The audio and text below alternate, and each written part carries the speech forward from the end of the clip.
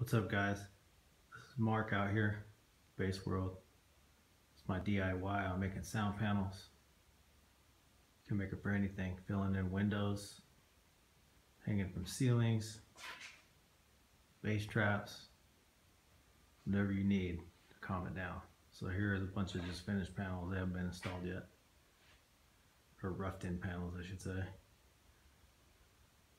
Basic tools you'll need uh, when you do this. Some type of stapler for stapling your fabric, scissors for cutting it, a drill, screwdriver combo, tape measure, type of screws, and something to cut your wood with.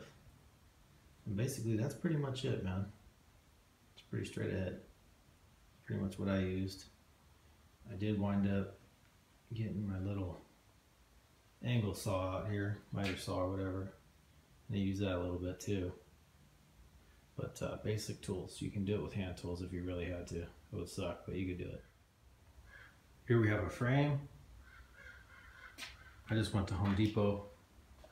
Got some cheap, I think they call it white pine or something. I just basically made them. I didn't even have to cut the long pieces. I bought eight footers. And you cut these pieces across 15 inches. Like that. You put the centerpiece at 47 inches. And then I'm using Roxul insulation, which two pieces will fit perfectly in that panel. I also got my fabric online from the Hobby Lobby. $2.99 a yard. Not a great price, but it's doable, viable. So as you can see, two pieces of Roxul fit right in there perfectly.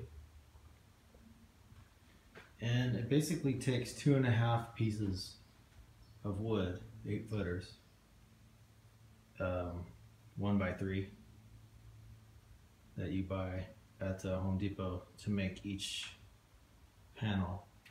And then you use about nine yards of fabric um, that I got, and it was 60 inches wide, the fabric. So it wraps a time and a half. So the front face gets doubled, which looks nice. And then this is the only amount of wood you will have left over making the panels this size. Which actually will be used for something else. But still, that's about it. So there's not a lot of waste. It's very efficient. These panels will cost you, and let's see,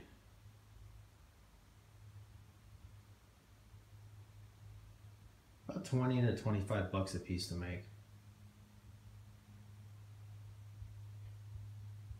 Each bag of Roxul, I believe, has 12 pieces. So that's enough for six panels. I found mine online at Home Depot. Um, I bought it in bulk, so it's about 30 bucks a bag. Um, so now we've placed the Roxul in there and we've wrapped it. So it's been wrapped around completely one time and we stapled it.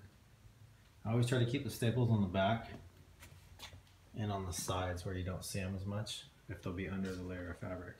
So what I'm gonna do now is flip it over because I have this other piece hanging. And that's gonna be the double wrap on the front. That makes it look a little thicker. It looks a little better. Um, I did one with a single wrap and you would see the frame. It just didn't look as uh, as nice. So when this one's done, look at that. All right, so now we stapled it, wrapped it around one more time. And kind of folded the corners and stapled it.